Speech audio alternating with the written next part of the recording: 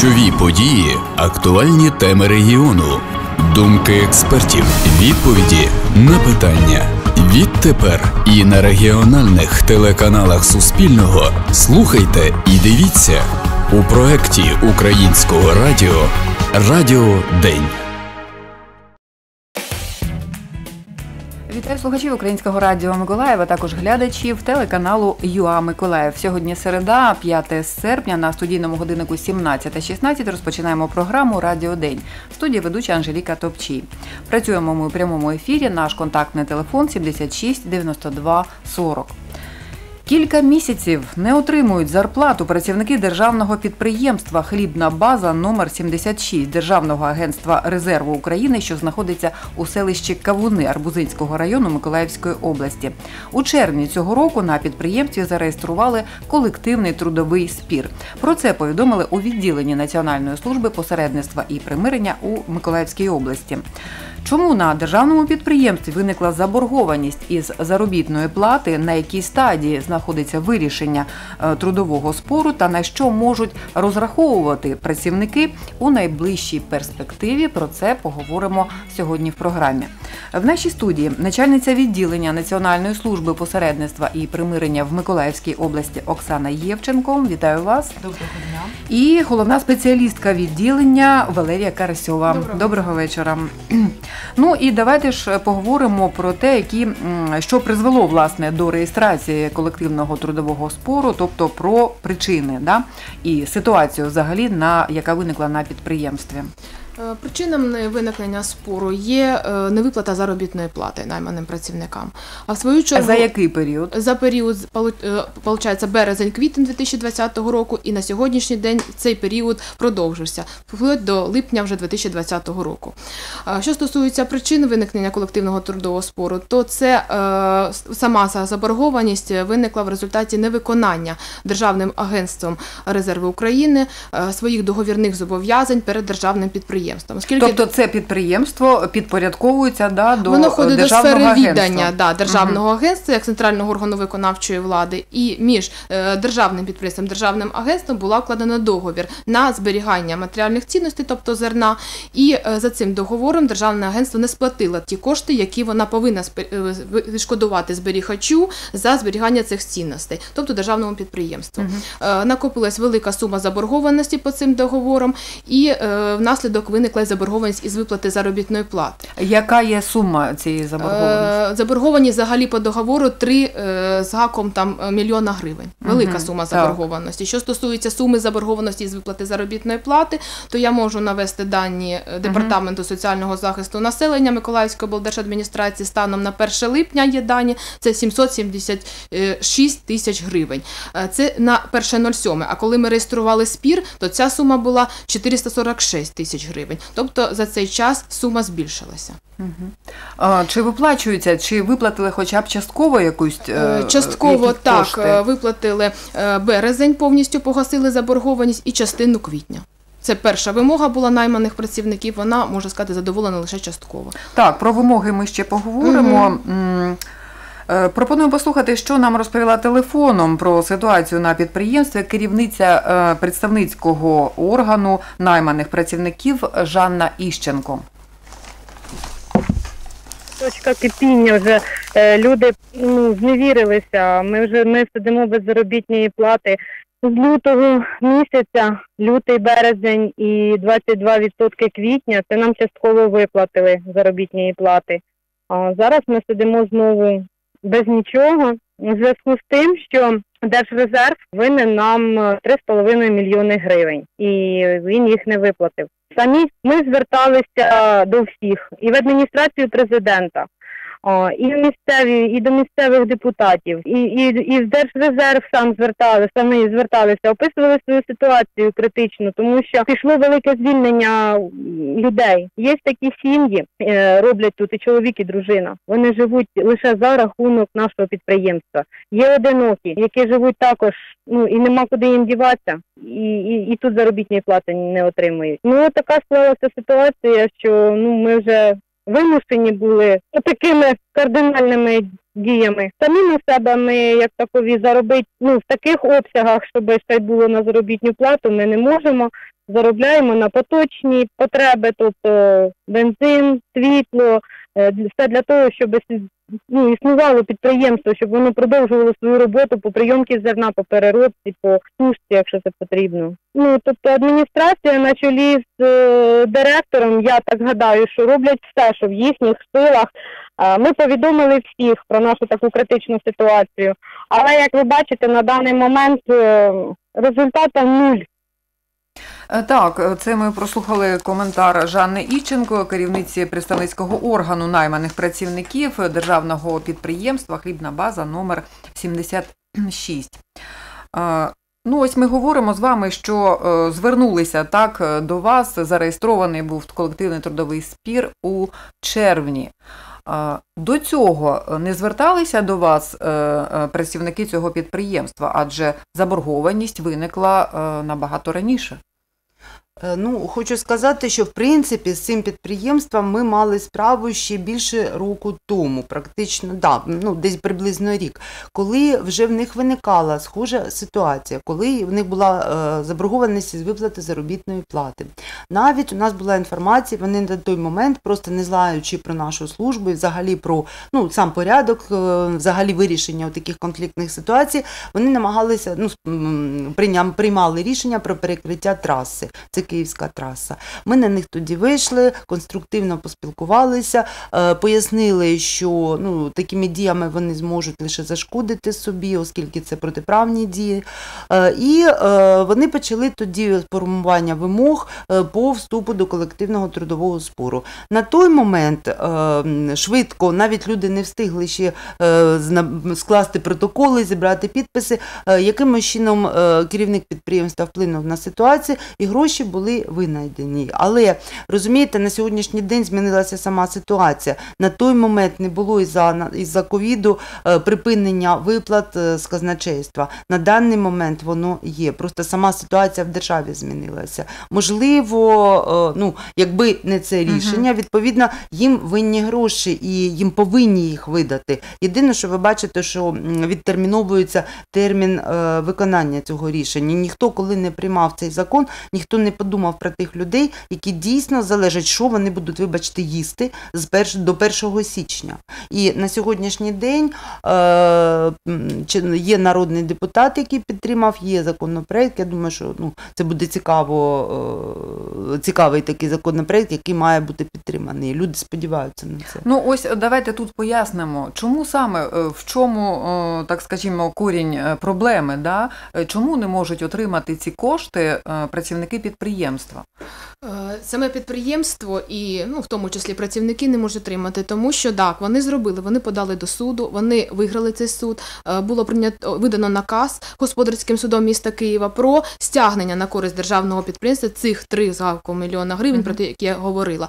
Однак були внесені зміни до закону про державний бюджет 13 квітня 2020 року, відповідно до якого тимчасово дня набрання чинності цим законом і до 1 січня 2021 було призупинено статтю бюджетного кодексу України, яка передбачала, що казначейство списує безспірно кошти державного та місцевих бюджетів на підставі рішення суду. Так, рішення суду є, але казначейство не може списати кошти з рахунку державного агентства на користь державного цього підприємства хлібної бази. Тому така об'єктивність е, причин виникнення цієї заборгованості і невиплати заробітної плати вона існує. Е, Тобто, ну, Державне агентство резерву України просто не те, що воно не хоче да, е, Да, виплатити ці кошти, Так. а просто не має Нем- права це не, ну, зробити. неможливо це зробити. Неможливо, це ж так, казначейство повинно здійснювати на підставі рішення суду. Не, угу. не може, тому що немає права. Так, є угу. закон. Чому адміністрація підприємства не може задовільнити вимоги своїх працівників і виплати заборговані кошти? Е, Що було взагалі зроблено, аби владнати ситуацію? Про це е, нам телефоном розповіла представниця сторони роботодавця е, Олена Науменко. У нас е, є рішення суду, е, по якому Держрезерву казначейство має стягнути ці кошти. На ці кошти ми розрахувалися. Ми е, ці кошти думали, що отримаємо ці кошти, і розрахуємось за заборгов по заборгованості по зарплаті, це яка склалася вже е, 4 місяці. Але ж коли був карантин оголошений, е, був прийнятий закон про те, що всі стягнення по суду бюджетних організацій, е, Держрезерв є бюджетна структура, не можна до січня 2021 року. Розумієте, як це склалося? І, і тому отак склалося. Ми на ці кошти розраховували, і ми їх мали отримати, і тут ну буквально там дві неділі і прийняли цей закон. У нас більше претензій не до Держрезерву, того що ми розуміємо, що є такий закон, да, прийнятий. А до депутатів ми вже навіть писали там до депутата, зверталися нашого. Він нам допоміг. Це питання е, було вже там на обговоренні. За нього мали там проголосувати, але ж пішли на канікули. І ми знов залишилися, можливо, там е, в жовтні там. Чи коли там вийдуть депутати з відпустки, з канікул, знову почнеться там якесь е, рішення цих питань. Там бо не тільки ми попали під цей закон, а й там багато там організацій, які не можуть по суду стягнути ці кошти. А ситуація критична на підприємстві. Це вже я навіть ну ви самі розумієте, що таке не отримувати 4 місяці зарплату. Коли нам давало відповідь е, казначейство про те, що такий закон прийняли все, вони в останньому пункті написали, що цей закон не забороняє Держрезерву самостійно, добровільно сплатити е, ці кошти е, підприємству, якому вони винні, розумієте? А в Держрезерву, мабуть, немає таких коштів, щоб з нами розрахуватися, розумієте? Бо теж така ситуація. Ну, е, я вам хочу сказати, що Страждають люди і всі, хто на підприємстві працює, багато звільнилося. Можливо, хтось скаже, чого вони терплять, чого вони всі від- звідти не підуть, там не розрахуються. Ще хочу сказати, ось прих- поприходили нам смски, що нам е, до стажу не зарахували цей термін, коли ми не отримували зарплату. Розумієте? І коли зараз піти в центр зайнятості, теж не буде нічого, ну нормальної виплати, буде мінімум, тому що відрахувань не було. І заручники ситуації, яка от взагалі склалася. Ну ось як почули, так е, також проблема не можуть нар- не нараховують да, просто. трудовий стаж. І зі слів Олени Науменко виходить, що адміністрація підприємства, як і всі наймані працівники, так всі стали заручниками власне ось цієї ситуації, яка склалася, і е, з огляду на вказані вами причини е, виникнення спору у найманих працівників е, є претензії не стільки до директора підприємства, скільки до законодавців, правильно? Так, Да, так. Так, і наймані працівники, і е, керівник підприємства на примирних процедурах, які відбувалися, вже він підкреслював, що саме питання в законодавчій площині до законодавця адресовано. Так, чи є можливість е, з огляду на це залучити народних депутатів до е, процесу вирішення спору? Е, Так, е, юридична підстава є нормативно-правовими актами Національної служби посередництва і примирення. Передбачено є положення, по яким ми- можемо залучити народного депутата до примирної комісії, до трудового арбітражу при вирішенні спорів. І в даному випадку, на даному колективному трудовому спорі, було звернення сторін спору про залучення народного депутата. Е, Ми особисто зверталися до нього, е, і відповідь надійшла така, що так, він був е, взагалі вже повідомлено про цю проблему на підприємстві, тому що керівник самостійно звертався, і ми нам в свою чергу була надана відповідь, що ним Макс Мак- Дирдін, це Максим Євгенович. Він вніс до Верховної Ради законопроект, підготував і зареєстровано вже е, 3777 про внесення змін до бюджетного кодексу про відновлення цієї можливості списання коштів у порядку безспірного е, виконання рішень суду. На якій стадії наразі знаходиться вирішення спору? Е, Взагалі-то колективний трудовий спір е, складається з двох таких глобальних стадій. Це Так, примирна його було комісія, да, да, реєстрація, червні, так. примирна, і потім два засідання примирних комісій у нас відбулися. Якраз у цей період між засіданнями, між примирними комісіями, якраз і відбули, відбулися ці подання законопроекту, погодження і так далі. Тобто люди сподівалися все ж таки, що Верховна Рада прийме цей закон і на цьому буде край. Тобто люди отримують свої кошти. На жаль, е, в п'ятницю у нас відбулося відбулось друге засідання примирної комісії. Ну, ви чули дуже емоційне звернення Мгм. людей. Повірте, людей просто шкода. І вони так само на засіданні примирної комісії між е, роботодавцем і найманими працівниками вони нам розповідали, як дійсно люди ну мусять виживати в цих тим більше наразі вони працюють. Іде урожай, є зерно. Е, ну взагалі це ну жахлива дійсно ситуація. Тому ми вирішили, е, вони вирішили таким чином, що в такому форматі далі спілкуватися між керівництвом підприємств і найманими працівниками. Ну це недоцільно. Так, просто в нас такий закон. Ми не можемо зареєструвати з ними спір з держрезервом. Хоча, якби була профспілка, якби була всеукраїнська профспілка, така ж ситуація не тільки в Миколаєві, по всій Україні. Всі страждають від цього закону.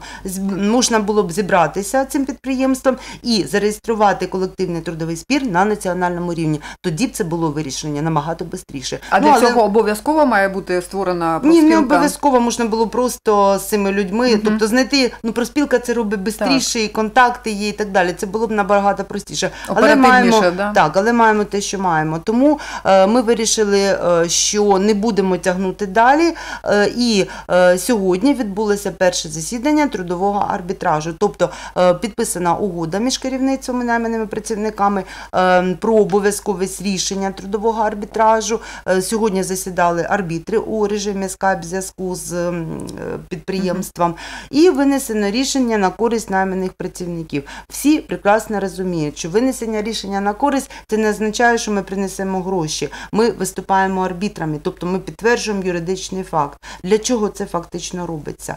Для того, що е, оці акції, протести, на які налаштовані люди, і вони вважають, що на сьогодні це єдиний шанс. От через засоби масової інформації, то що ми з вами сьогодні робимо, ми хоча б до громадськості доводимо, що є така проблема. І так само акції протесту. На, для проведення страйку потрібно, щоб е, або затягування було вирішення, або е, рішення не виконувалось. Тому арбітри прийняли рішення, що звернутися е, до керівника підприємства, щоб він повідомив і передав наше рішення Держкомрезерву упродовж одного місяця. Якщо вони добровільно, як казали про це працівники, не знайдуть коштів, у найманих працівників виникає законне право на страйк. В цей час, звісно, вони будуть звертатися. Я думаю, що і вони вже, до речі, зверталися і до органів виконавчої влади нашої, отримали лист. До речі, облдержадміністрація так само зверталася до Держкомрезерву. На що отримали відповідь? Ну я не бачила її поки що,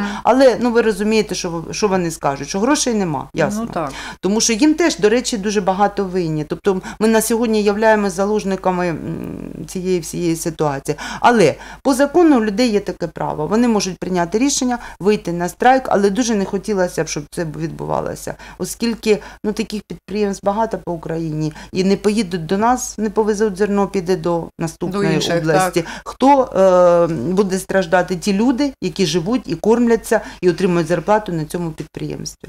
Ну і як ви бачите, подальший розвиток подій, на що можуть взагалі розраховувати працівники у найближчій перспективі?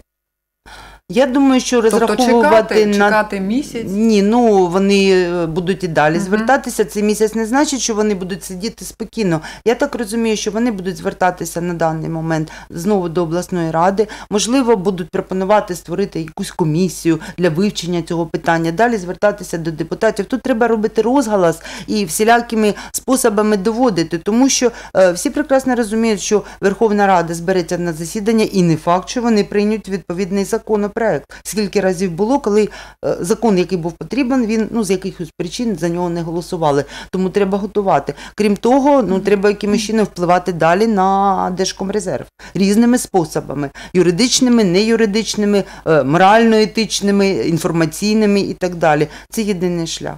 Якщо вже судове рішення не виконується, ну тоді лише громадська підтримка. І а, підтримка з боку влади. З боку відділення Національної служби посередництва і примирення вже зроблено все, що можливо було зробити.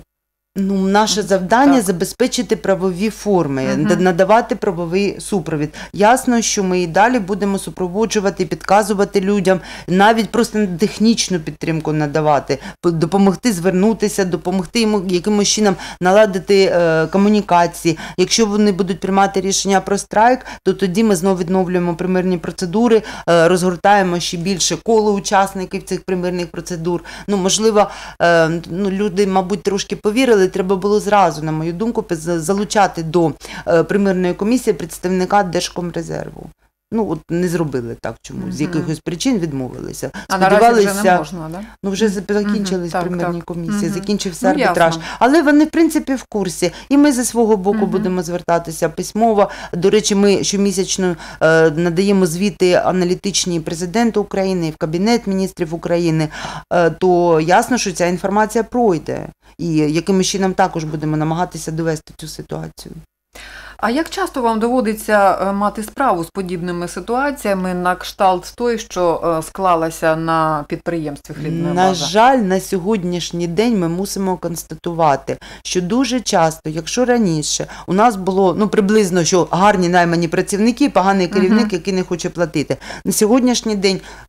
Десь 50% е, таких ситуацій, коли керівник підприємства дійсно зі свого боку намагається е, вийти з ситуації, сплатити, знайти кошти, але недосконалість чинного законодавства приводить до таких тупікових ситуацій, які навіть ну помислити десь в Європі таке неможливо, щоб керівник не міг розпорядитися грошима, не міг їх отримати і так далі. На жаль, на сьогодні таких ситуацій багато. Хоча, е, так порівнюючи з минулими роками, я можу сказати, що е, в нас зменшилась кількість колективних трудових спорів, яких причиною була невиплата заробітної плати. От перед карантином у нас йшла тенденція, що люди намагаються захистити свої права, там отримати якісь пільги, там збільшення заробітної плати, Покращити е, своє покращити становище. становище, так, колективний договір укласти. Тобто, ну чесно кажу, мені всім цікавіше працювати. Я бачу, що е, ну тут ми більше можемо допомогти.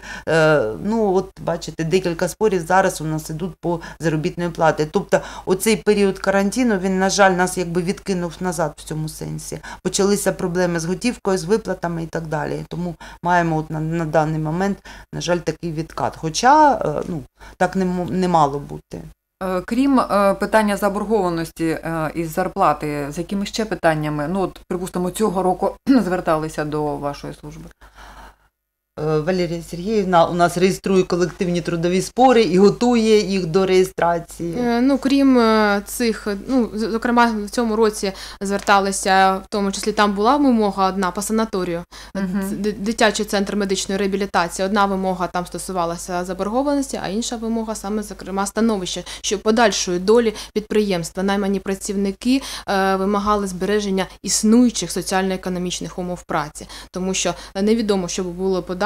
Однак, в зв'язку з втручанням е, голови Миколаївської обласної державної адміністрації є вимога, що по заборгованості, так і щодо подальшої долі була вирішена.